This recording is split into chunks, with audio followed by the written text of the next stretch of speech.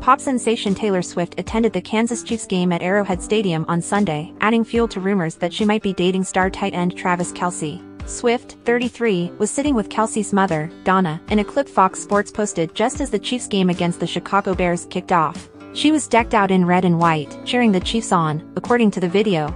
A Fox Sports game commentator pointed out that Swift was in the audience with Kelce's mother, and mentioned that the people in their suite appeared to be enjoying themselves. Video of the singer appearing to shout let's go after a Kelce touchdown flooded social media.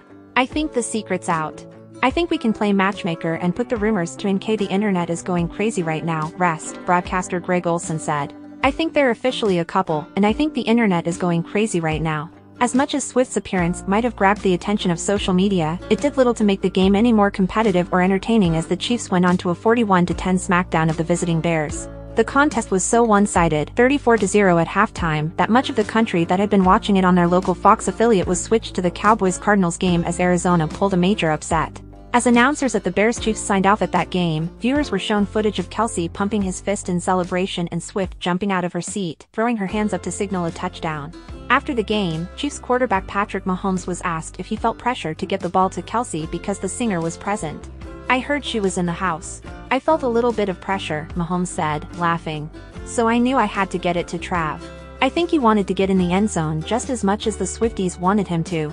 Later, video of Kelce and Swift leaving together was posted on X by Chicago sports media personality Jarrett Payton. Speculation about Swift and Kelce, 33, a two-time Super Bowl champion, began when he attended the Eras tour over the summer. Kelce joked in a podcast with his brother, Jason Kelce of the Philadelphia Eagles, that he tried to give her a friendship bracelet with his number on it.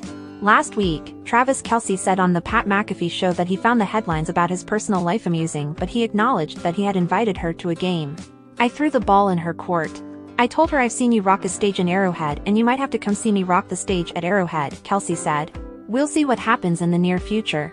By no means is Swift's appearance confirmation that the two are dating, but it certainly set the internet ablaze. A source close to Swift said that she and Kelce are hanging out and that it was still early stages. A representative for Swift did not immediately respond to a request for comment.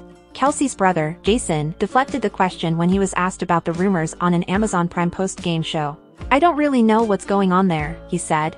I know Trav is having fun. We'll see what happens with whoever he ends up with.